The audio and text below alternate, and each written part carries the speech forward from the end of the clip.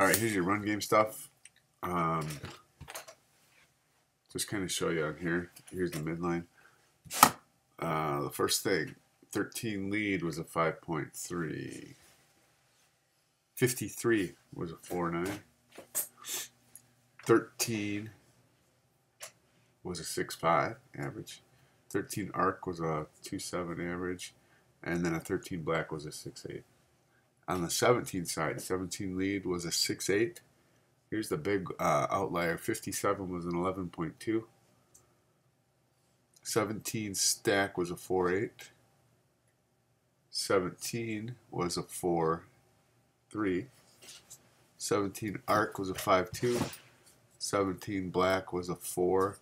And then 17 lead double arc was a 7 4. So this is kind of what I got out of here was uh, I don't know if it's like a right hand quarterback, left hand quarterback thing, but you're having more production right here than right here. The big counter uh, was almost was double coming back this way. Maybe that's just kids being right-handed instead of left-handed.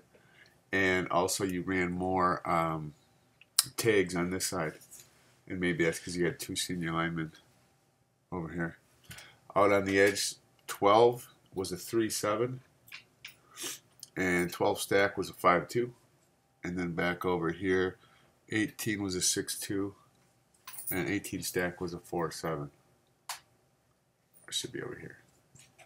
And again maybe that uh, uh, right hand left hand thing too. On the 21s and 29s 21 was a 10-6 21 skinny was a 4-8 and then 29 was an 8 and then 29 skinny was a 9-7 and then the reverse was 22 but there were only three reverses. And then I think 21 was an was an 11 but I think there's only one reverse going that back that way. Also one thing we're talking about in the van was like uh, the 79s and then 71s coming back this way. And when Steve kept out of 79s, his average was a 2.0, and uh, I think it was 2.5 coming back on 71s, but let me check that out.